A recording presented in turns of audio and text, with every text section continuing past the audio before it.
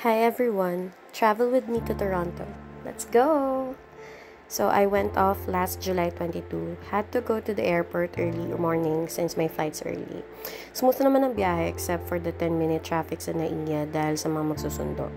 So once I was at the airport, nagbayad muna ako ng travel tax. Then tsaka ako pumila sa check-in counter to drop off my baggage.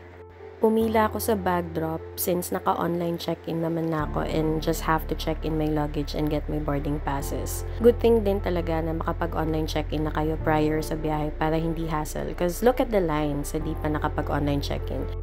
Since medyo maaga ako natapos sa IO and sa x-ray, chill muna ako dito. Sabaw na ako neto guys dahil wala pa akong matunong tulog. So, para mabuhayan naman ako ng konti, nag-potato corner muna ako. Kain! Finally, it's boarding time!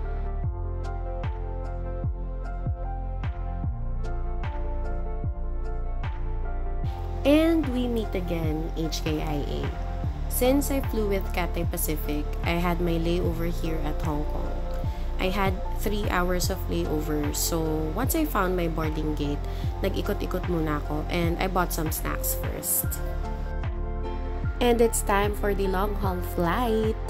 15 hours na naman tayong lilipad. well, decent naman yung legroom nila sa economy guys. Wag lang talaga magli-lean back yung passenger sa harap mo. So, 2 hours in, nag-serve na sila ng lunch. I've created a separate video of all the food I ate during my flight. So, if you're interested, it's that link on the upper right hand corner. We're halfway there. Yay! Malayo pa, pero malayo na. Char. Around this time, nag-serve na sila ng dinner. So, this is just me eating while watching a movie. I think Legally Blonde ata pinapanood ko. Sobrang bored ko na. Gustong gusto ko na bumaba. And finally, after 15 hours, Time is 21 minutes after 1 p.m. on Monday afternoon. On behalf of the entire crew, I would like to thank you for flying with Cathay Pacific, and I wish you a very nice stay in Toronto for a safe onward journey to your final destination. Cabin crew, approximately 40 minutes to landing. And we made it guys, finally. So, pagka-deplane, dumiretso agad ako sa immigration.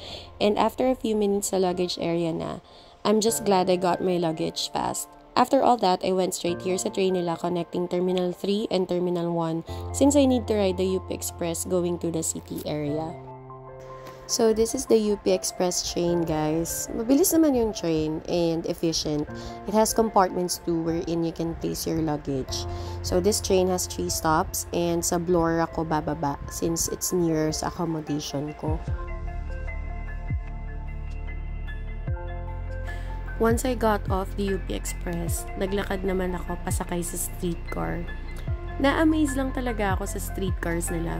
It's a fascinating idea for me.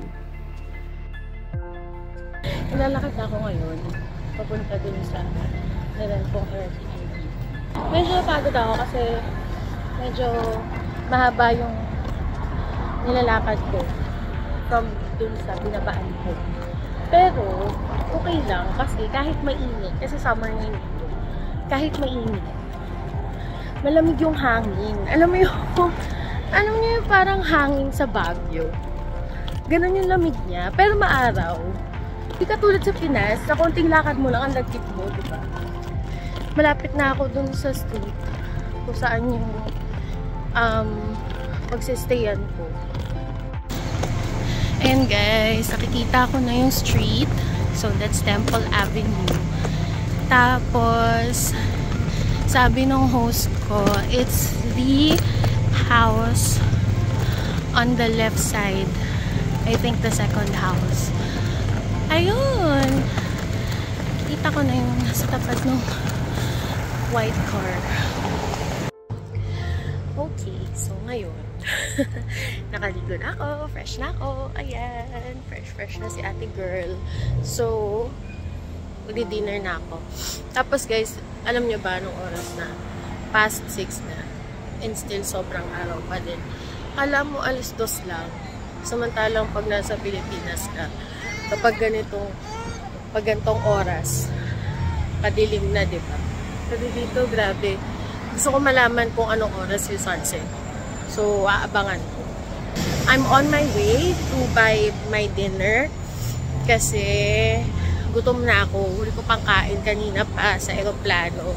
Technically, halos ano na, na pang kinakain for the past 8 hours. So, yun. Kaya, I will eat. So, may nakita ko bilihan ng food doon. Wait. Yun, banda doon. Ayun, nadaanan ko siya. Kaya, bibili ako ng pagkain ko para yun yung dinner ko. Hindi naman ako sobrang pagod. Siya kasi nakakatulong talaga yung weather. Sa totoo lang. Kasi sa Pilipinas, ang bilis ko mapagod. Kasi nga mainit. Alam mo yun, konti ka. Siguro ko sa Pilipinas, kung ito ginawa, wala na. Ayoko na. Wala, wala na energy. Alam mo yun. So, nakakatulong din siya kasi hindi siya mainit.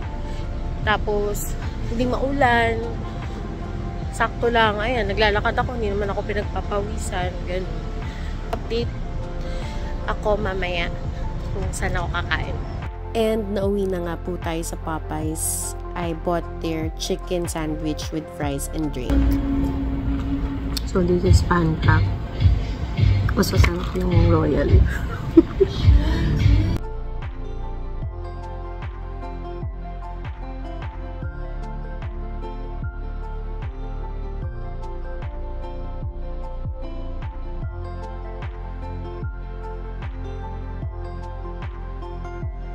Sobrang nakakabusog yung chicken sandwich nila dito. Just look at that meat to bun ratio. Worth it. Basta ako mag-dinner. And time check lang guys. It's already 7.04 p.m. So alas 7 na ng gabi. Pero grabe. Sobrang liwanag pa rin dito. Tapos dito dapat ako magdi-dinner sa Wendy's. Kaso, credit card only sila. So wala. Kaya pabalik na ako sa aking um, Airbnb. That's it for my day zero and I'll see you on my next vlog. Bye!